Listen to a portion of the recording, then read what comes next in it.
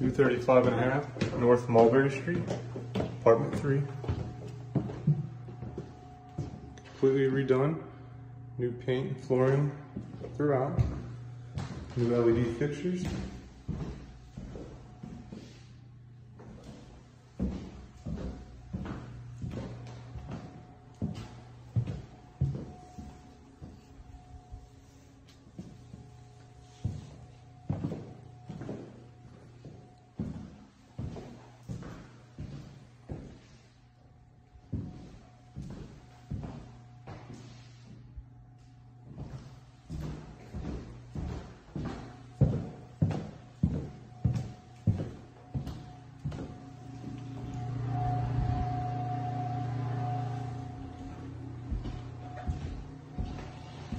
Gas cooking.